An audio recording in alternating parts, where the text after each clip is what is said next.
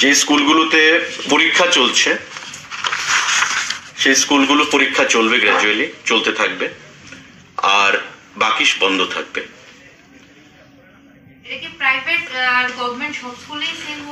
Private তো সিদ্ধান্ত মানে আমরা বিগত দিনেও দেখেছি যে রাজ্য সরকার যা সিদ্ধান্ত নেয় প্রাইভেট সে তারাই পালন করে।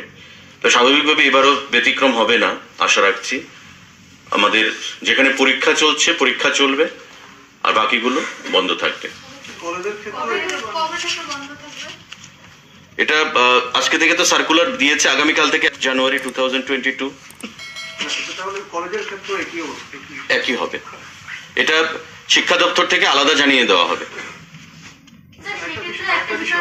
গুরুত্বপূর্ণ যেহেতু আপনি বলেছেন যে আগামী কদিনের মধ্যে